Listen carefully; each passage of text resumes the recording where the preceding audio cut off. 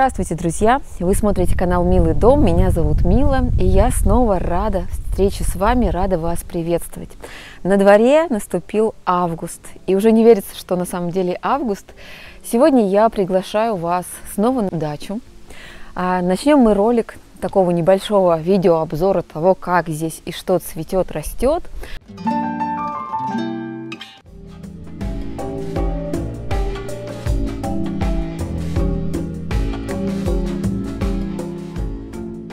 Мы сейчас находимся с вами у моего цветника с циниями.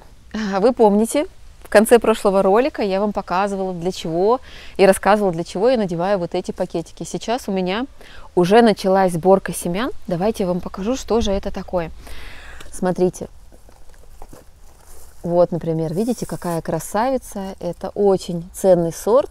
И я вижу, что здесь все опылились рыльца. И уже можно будет ее скоро срезать для того, чтобы досушить и собирать семена. А, я провожу этот процесс примерно каждые два дня. Очень увлекательное, конечно, это мероприятие. Достаточно монотонное, сложное, но мне хочется сохранить семена, поэтому каждые два дня я опыляю вновь и вновь раскрывающиеся цветы. Даже уже покажу вам попозже, есть у меня получившиеся семена, я проверила они действительно созревают.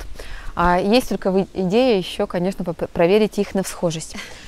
Это часть участка, в которой у меня росли а, первоцветы. И здесь, знаете, у меня такой вот хаос, можно сказать.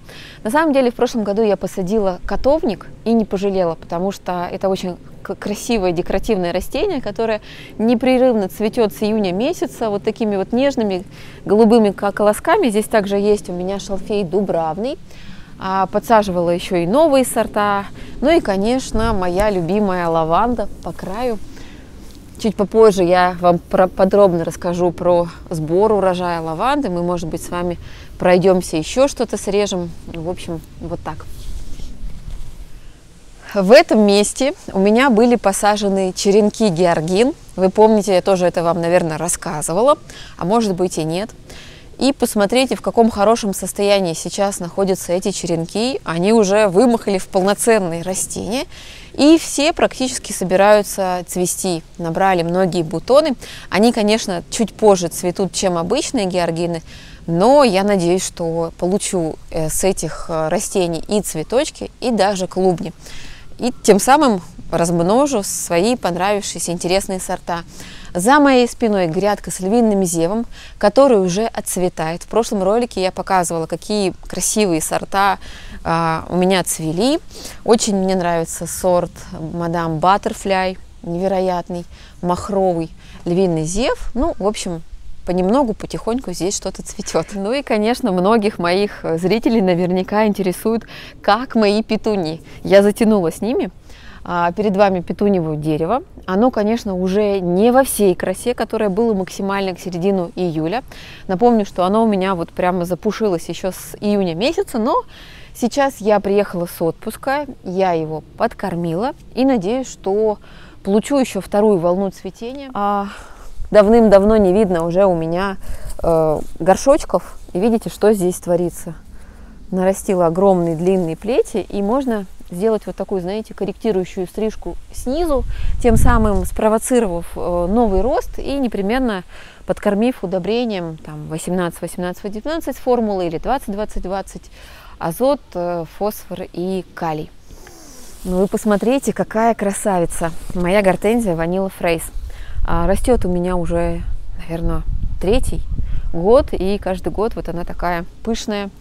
Сильно ее не обрезаю, будет красивое опять цветение, поэтому обожаю эту гортензию. Конечно же, сняла черенки, а, как и делала в прошлом году, поэтому очень она мне нравится. Я сейчас сижу на крыльце дома, и эта зона у меня традиционно украшена петуниями, как я вам и показывала до этого. А вот этот нижний уровень у меня всегда растут тайдалы, которые обеспечивают очень бурный и пышный рост. Здесь растет Silver. А, посередине у меня стоял горшок с Tidal Hot Pink, но я поняла, что мне хочется а, вот единого моноцвета, и поэтому я сюда поставила горшочек с более поздним черенком по посадке еще одного Tidal Silver. Сейчас он догонит и э, наберет хорошую вегетативную массу и вот закроет вот это пятно. К этому моменту, моменту уже вот эти тайдалы будут не так сильны, но за счет большого пятна в центре будет смотреться хорошо. Посмотрите, как хорошо наросла а, петуния серии Виста. Это цвет Berry. Вот так вот она уже тоже свесила вниз свои плети. И с этой стороны, со стороны террасы. Посажено здесь у меня под два растения, всего лишь одно растение и второе. А вот эта зона у меня украшена белой лобелией. И получилась такая, знаете, очень легкая, воздушная а, зона террасы. Сверху я решила все-таки добавить ярких пятен и подветила петунию тоже серии Vista. Это Vista Paradise. Там также есть у меня одна опера, потом вам чуть позже покажу. Также у меня встречаются одиночные композиции. На самом деле я засаживала все свободные вазоны, которые были у меня. И вот черенки, которые оставались, я сажала. Сверху здесь у меня алисум. Ну, вы знаете, сорт попался обычный семян. Я люблю его за его медовый запах. Ну, вот уже, к сожалению, он отцветает. Может быть, на следующий год я а, присмотрюсь э, в сторону вегетативного алисума Snow Princess. Ну, а здесь посажена Vista Bubblegum, и она, как всегда, прекрасна в любом объеме. Она может расти и в большом, и в 100 литрах, и в 10, и даже в 5 и даже в двух. Я сейчас вам покажу, где она у меня растет в трех литрах. Удается мне посидеть на своей скамеечке, потому что я в последнее время все наскоками и набегами на дачу, и когда приезжаю сюда, все время что-то делаю, делаю. Ну, здесь вот также э, Easy Wave Lavender Sky Blue сменили вазоны, приготовленные на резерв э, с петунией Vista Bubble Gum. И посмотрите, как она хорошо также вот смотрится. это петуния Easy Wave Lavender Sky Blue. Она самая первая начинает э, зацветать. Еще в апреле может давать цветы, очень быстро растет. И, к сожалению, к концу июля выглядит уже вот так. К этому надо быть готовым. Она не разрастается сильно, не наращивает большую шапочку. Я ее исследую уже второй год. И вот такой вывод я сделала. То же самое было в прошлом году. Я просто подсаживала периодически черенки, поэтому она у меня была до сентября. Просто надо быть готовым к этому, нравится это или нет. Такая петуния, в общем, я, наверное, на следующий год ее не посажу. Единственное, чем она привлекательна, это своим цветом необыкновенным. Но вот сейчас я освобожу. Это не болезнь, с ней все хорошо. Она тут навязала кучу семян, можно собрать, попробовать посадить. Но вот такая история с ней случается. Ну и сейчас я нахожусь у своего главного детища этого года, у георгиновой грядки. И вы знаете, начался период цветения георгины, я уезжала тут ненадолго в отпуск, не застала самого пика, но приехав, я просто обалдела от этого буйства цветов, красок. Но я совершенно не пожалела, что посадила эту красоту. И думаю о том, как бы мне найти пространство и землю на следующий год, чтобы приумножить это великолепие. Это ничего не сказать. Я их так долго ждала. Начала я их покупать еще в октябре прошлого года. Заказывала что-то, искала, подбирала. Конечно, хотелось найти подешевле ну и так далее. В общем, обожглась на некоторых моментах. А, ну, это опыт. Каждый год я... Это был первый год, вернее, мой, да.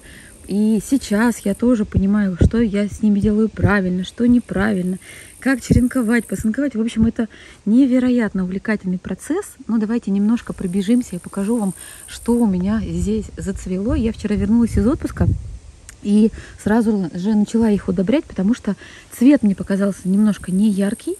А получается, что как я их посадила, я ничего сюда не вносила. Мы тут добавляли компостную землю. В общем, давайте пробежимся по сортам, я вам расскажу. Вот такая огромная красотка перед вами, это Георгина Сильвия. А, вообще я на нее не делала ставку, думаю, а, ну возьму ее так себе. Ну посмотрите, какой нежный персиковый цвет, она совсем не желтая, она персиковая ну, просто восхитительная. А дальше давайте с вами будем двигаться.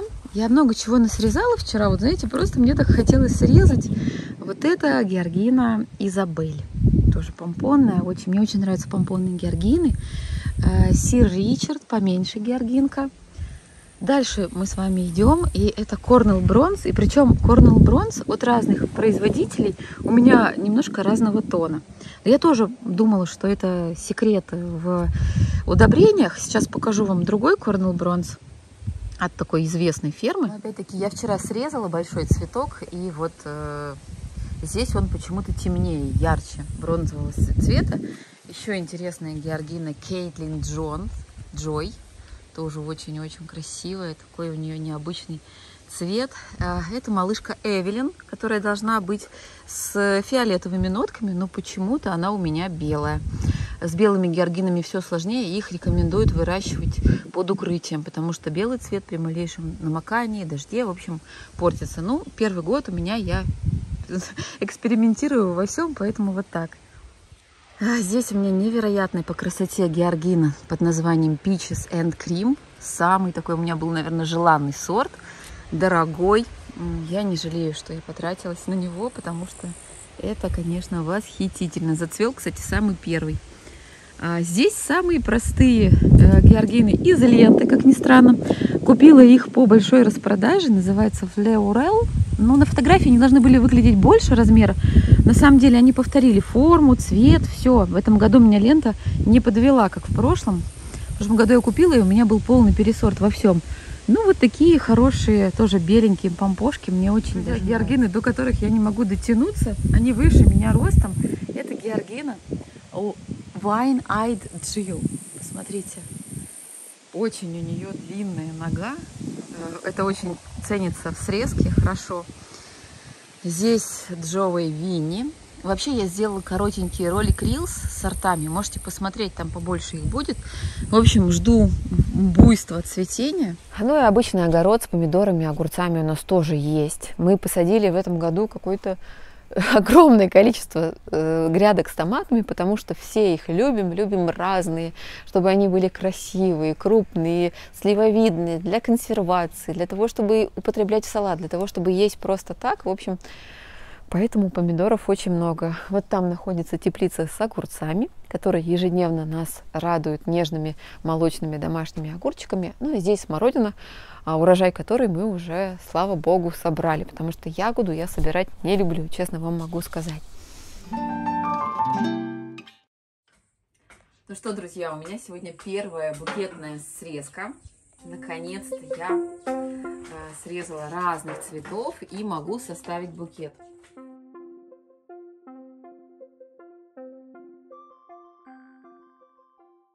Очень много львиного зева белого. Это анемоны еще цветут. Львиный зев Мэриленд. Золото инков. Невероятный, лососевый. Цвет с переливами, розовый. А для акцентов я срезала цинни первые. И различные у меня тут дополнения. И веточка статицы, и малина, есть и укроп, и матрикария. И сейчас я хочу составить первый букет и предложить его в продажу. Продастся хорошо, нет, будет стоять, радовать меня в вазе. В общем, это творчество.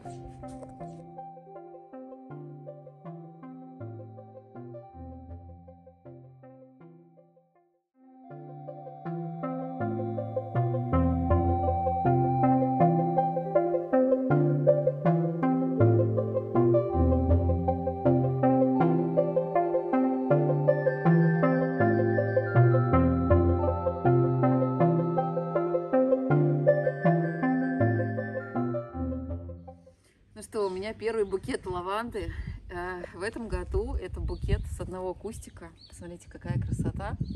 Я еще не полностью его на самом деле остригла, потому что решила оставить нижние соцветия на семена, а здесь еще будут доцветать. Ой, я так счастлива.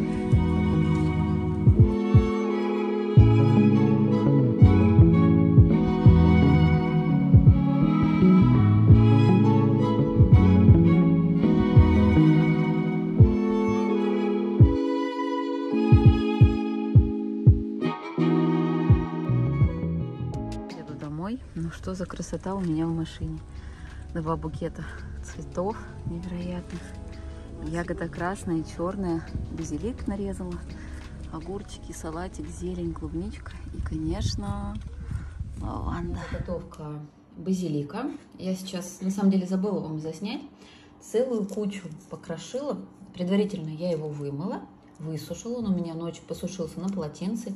И сейчас я мелко его покрошила. Буду просто сушить скорее всего, это просто будет в комнате, либо поставлю в духовку на минимальную температуру. Ни в коем случае нельзя ставить на солнце, потому что потеряет цвет.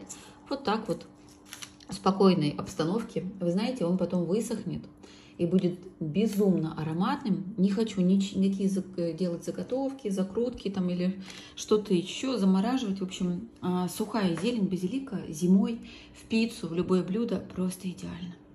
Тем более своя. Ну что, я привезла еще один букет лаванды сегодня с дачи. И снова его разбираю. Так мне это нравится. И что я хочу констатировать, рассказать вам. Дело в том, что я высаживала два пакетика разных семян. Это все лаванда прошлогодняя, которую я села в прошлом году. Сейчас вам покажу, в чем отличие моих сортов лаванды. Вот смотрите, у меня интересные сорта. А, значит, один сорт цветет вот такими длинными колосками, второй короткими, и мне, как мне кажется, у него цветы темнее, такие темно-фиолетовые, а у этого цветы более лавандовые. К сожалению, сейчас под искусственным светом мне не передать вам, как они выглядят, но глазу это заметно. А я, у меня было два пакетика. А одна была лаванда услада, а одна прованс. И теперь понять, какая из них какая, к сожалению, невозможно. Но я засушу сейчас, сделаю букетики, и пусть они у меня будут. Зелень лаванды я ни в коем случае не выбрасываю. На самом деле она гораздо ароматнее, чем цветочки. И набивать э, саше, которое тут я делала, пробовала зимой первый раз, нам очень мне он понравился, лучше даже зеленью лаванды, чем цветами, потому что она действительно, в ней больше эфирных масел, и она очень пахнет. Ну что, вот он мой первый настоящий полноценный большой букет лаванды. Ну посмотрите, как это красиво. Я даже смогла его немножко в спиральной технике скрутить и вот так поставить. Ну, ну это же очень красиво. Буду его сушить и уже потом покажу.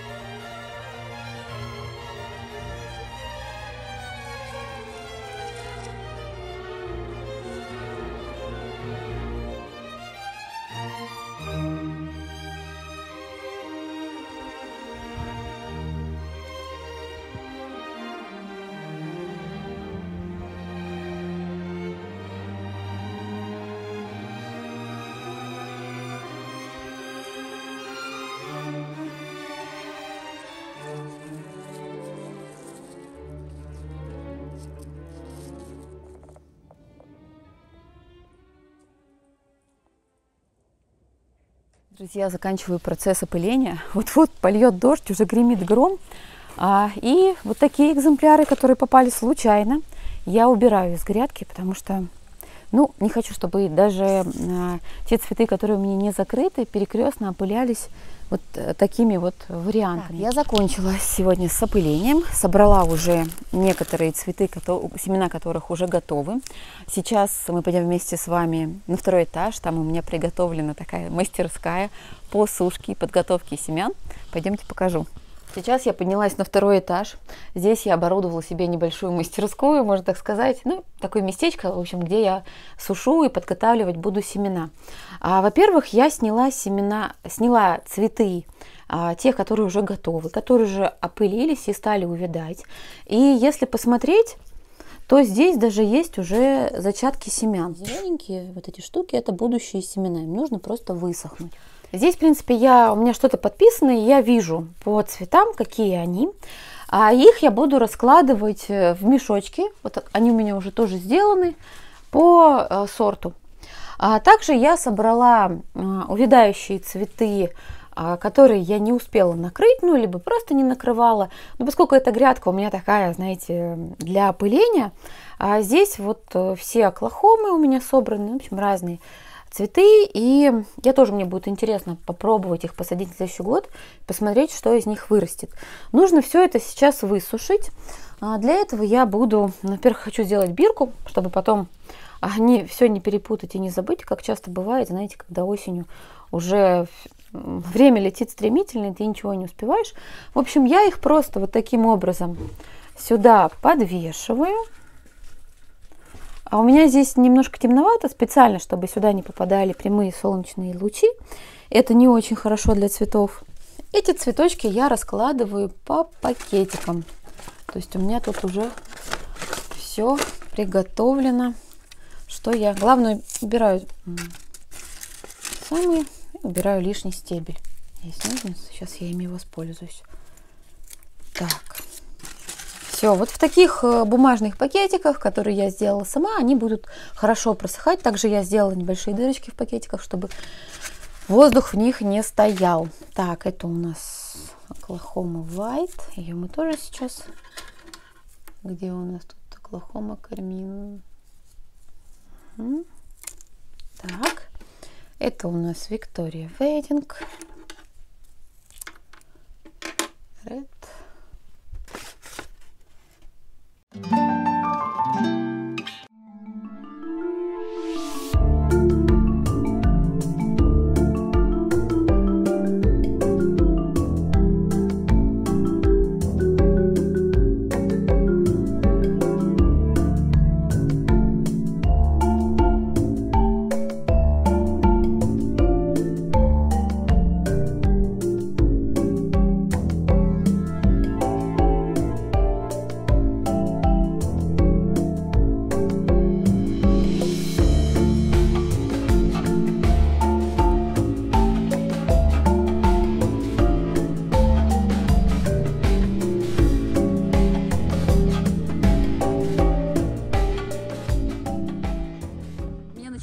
Торжественный момент. Я срезаю свои первые цветы, убираю ненужных жучков из них и режу.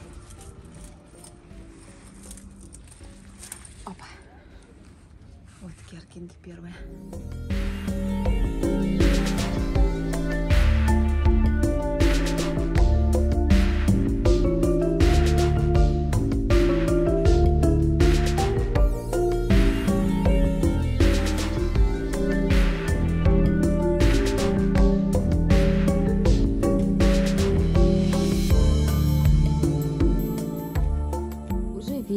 Вечера у нас стали темные, потому что белые ночи закончились.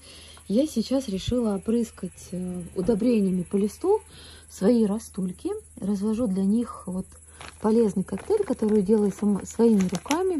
Здесь у меня удобрение с формулой для роз 16, 20, 27 с повышенным содержанием калия для цветения.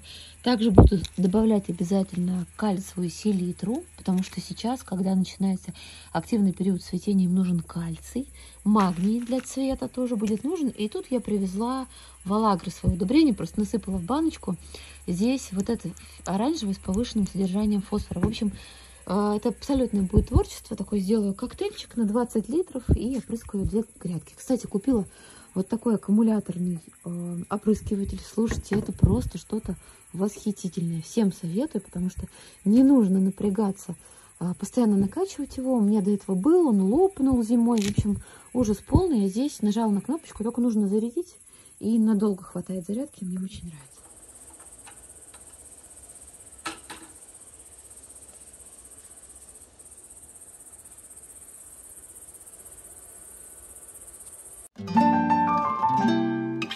Хочу рассказать вам про один курьез, который со мной произошел в этом году.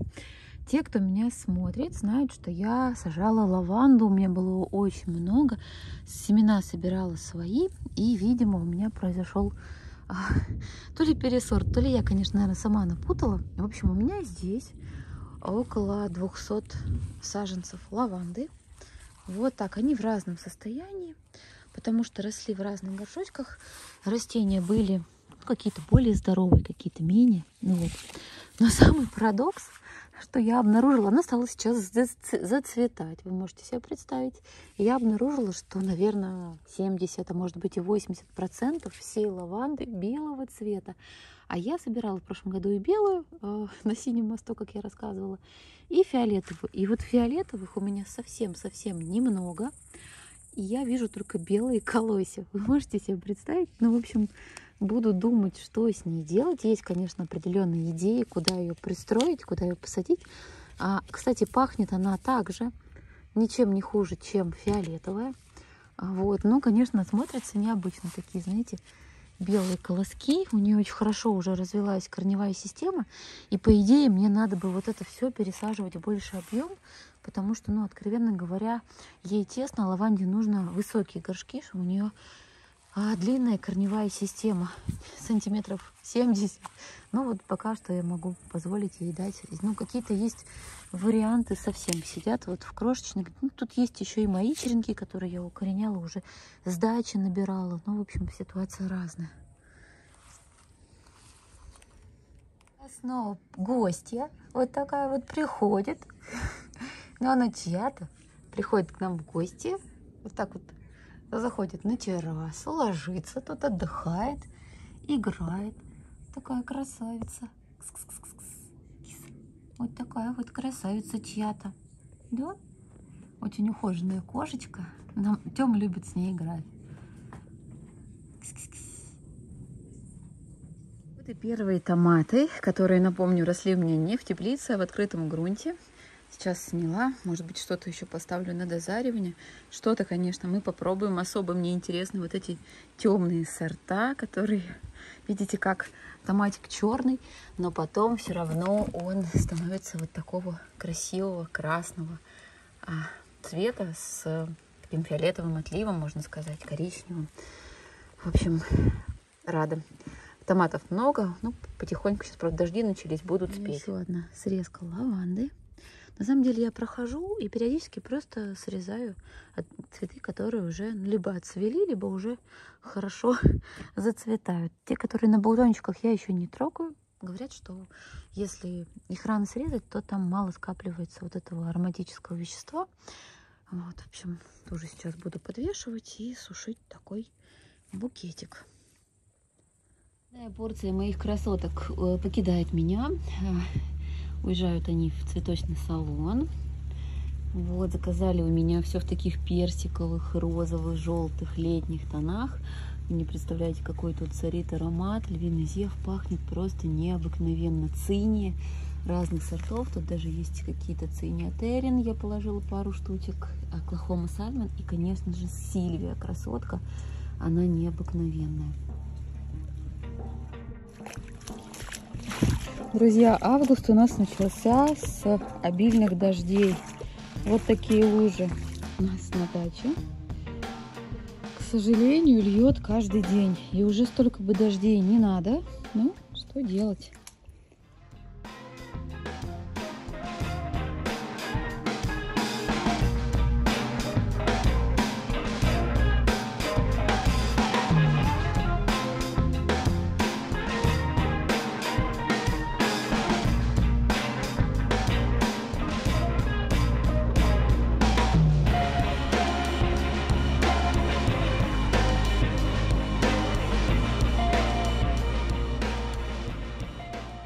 Ну что, друзья, этот ролик получился очень цветочным. Я постаралась вам рассказать и показать про те культуры, которые я выращиваю.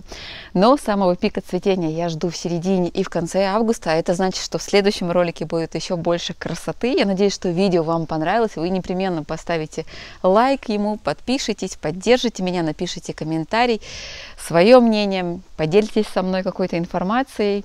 Также напоминаю, что у меня есть телеграм-канал, где я в ежедневном режиме что-то выкладываю, показываю, рассказываю. Ссылочка будет сразу в описании. Но со своей стороны желаю вам очень теплого, уютного, красивого, красочного августа. И говорю до новых встреч. Пока-пока!